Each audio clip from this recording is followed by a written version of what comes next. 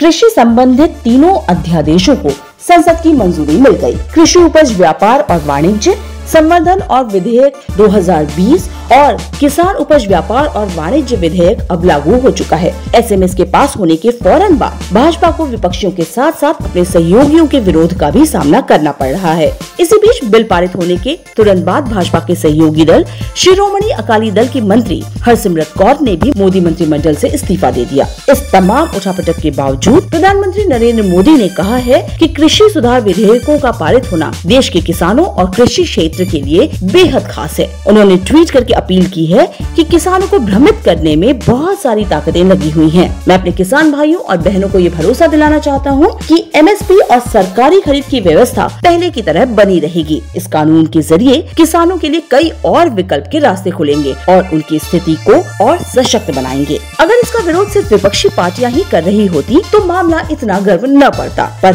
हर सिमरत कौर के इस्तीफे ने विपक्ष की आवाज़ को और मजबूती दे दी। आइए आपको बताते हैं कि आखिर क्या है ये तीनों बिल? कृषि उपज, व्यापार और वाणिज्य विधेयक 2020 के तहत किसान अब देश के किसी भी कोने में जाकर अपनी पैदावार की बिक्री कर सकेंगे। अगर अपनी मंडी या राज्य में उन्हें अपनी फ़सल का सही मूल्य नहीं मिल पा रहा है तो वो अपने अनाज को किसी दूसरे राज्य में या किसी भी व्यक्ति और किसी भी संस्था को बेच सकते हैं। साथ ही फ़सलों को अब ऑनलाइन भी बेचा जा सकेगा, जिससे किसानों को भी चॉइस और बेहतर दाम मिल पाएगा। इससे उन्हें मंडी में लगने वाली फ़ीस भी नहीं देनी पड़ेगी। मूल्य आश्वासन तथा कृषि सेवाओं पर किसान समझौता 2020 के ज़रिए किसानों के लिए कॉन्ट्रैक्ट फ़ार्मिंग का रास्ता खुल जाएगा। इसमें किसान अपनी फ़सल की बुवाई से पहले ही तय मानक के मुताबिक तय कीमत पर बेचने का कॉन्ट्रैक्ट कर पाएँगे। यानी उनकी फ़सल बुआई के पहले ही तय कीमत पर बुक हो जाएगी। सरकार की माने तो इससे खेती में किसानों के लिए रिस्क फैक्टर काफ़ी कम हो जाएगा। इसका एक फ़ायदा ये भी रहेगा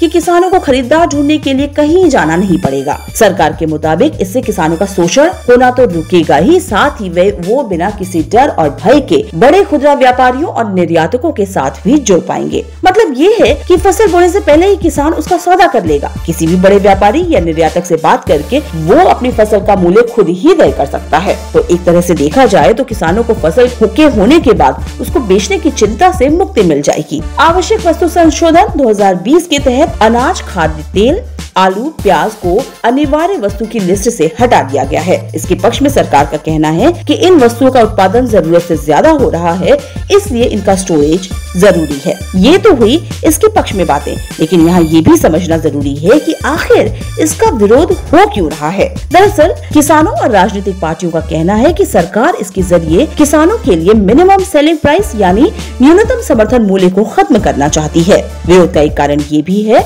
कि कीमतों को तय करने के लिए कोई फिक्स पॉलिसी नहीं है। इसलिए निजी कंपनियाँ किसानों का शोषण भी कर सकती हैं। व्यापारी फ़सलों की जमाखोरी और कालाबाजारी भी कर सकते हैं। इससे बाज़ार में अस्थिरता तो पैदा होगी ही, साथ ही महँगाई बढ़ने का भी डर रहेगा। राज्य सरकारों की एक बड़ी चिंता ये भी है कि अगर किसान पड़ोसी राज्यों में जाकर अपनी फ़सलें बेचना शुरू कर देंगे तो ऐसे में उस राज्य में फ़सल संबंधी दिक्कतें आ सकती हैं। और फ़ायदा होगा या नुकसान, ये तो जल्द ही पता लग जाएगा। फ़िलहाल तो ये बिल संसद में पास हो चुका है और मोदी सरकार अपनी एक बड़ी सफलता के रूप में इसे ज़ोर शोर से इसके महिमा बखान में लगी है।